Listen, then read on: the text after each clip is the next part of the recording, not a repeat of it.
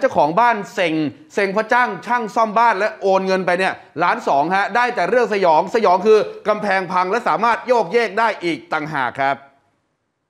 กบไม่มีอะไรเลยช่างบ้านราคาล้านสองนะครับ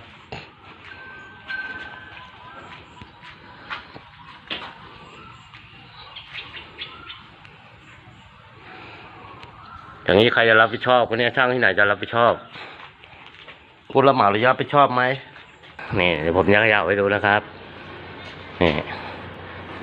นี่ บ้านราคาล้านสองเลยครับ โยกเยกอย่างนี้เลยครับ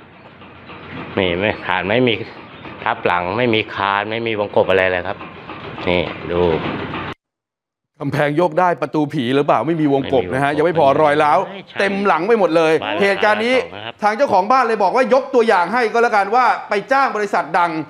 ชิบหายการช่างเออจ้างมาเรียบร้อยแล้วนี่บริษัทดังเหรอเออคือเปรียบเปรยเปรียบเปรยอ๋ว่าอเหมือนชิบหายการช่างอะครับเพราะว่าสารพัดเรื่องราวเกิดขึ้นเนี่ยพังทุกอย่างจริงผู้รับเหมาระยะๆคนที่ผิดชอบไหมเป็นเจ้าของบ้านนี่ไม่ใช่คนที่เสียงผู้ชายนะ แต่เจ้าของบ้านจริงๆเนี่ยคือคุณกาญจนาเดชวงศาคุณกาญจนาจ้างผู้ผู้รับเหมา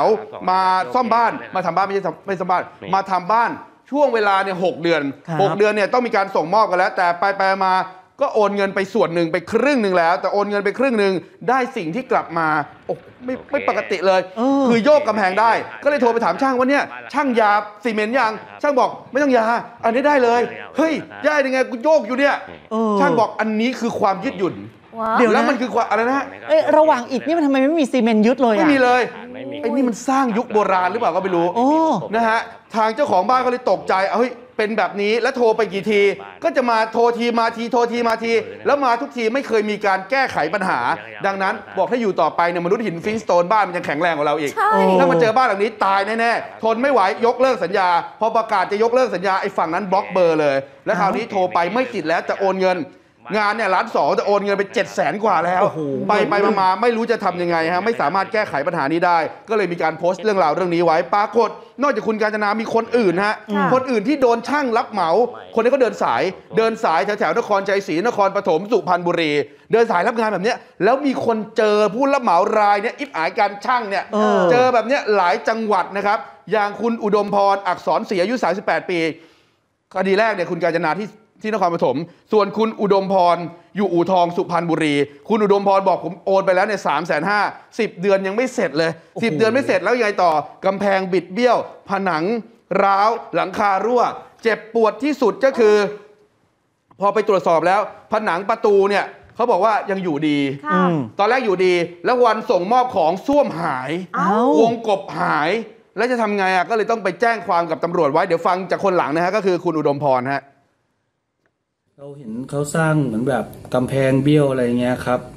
เราก็เลยหา หาช่างครับที่รู้จักมาช่วยดูให้ พอมีช่างมาดูให้เท่านั้นแหละครับโหบ้านปัญหาเยอะมากเลยครับ คือเอียงแนวดิ่งไม่ตรง แล้วก็มีรอยร้าในการก่อผนังอะไรเยอะมากเลยครับก่อนหน้านี้ก็ติดหน้าต่างประตูสุขภัณฑ์ให้เรียบร้อยแล้วใช่ไหมครับ เราพอถึงวันนัดที่จะไปดูบ้านครับ อีกคืนหนึ่งไปดูบ้านก็พวกหน้าต่าง ประตู กระจกทั้งหลายซึ่งบ้านผมอะ่ะมันมีกระจกเป็นส่วนใหญ่ครับ และสุขภัณฑ์ก็โดนถอดออกยกเขาไว้หมดเลยครับ ไม่มีสัญญาณตอบรับจากหมายเลขที่ท่านเรียก โอ้โห หลังจากเอาเงินไปแล้วนะ แล้วเออซ่อมบ้านสร้างบ้านแบบบุดบุดๆเบี้ยวๆแบบนี้ ไม่สามารถติดต่ออิบอายการช่างได้อีกเลยโอ้ครับเจ็บใจแทนเลยอะ ใช่ฮะ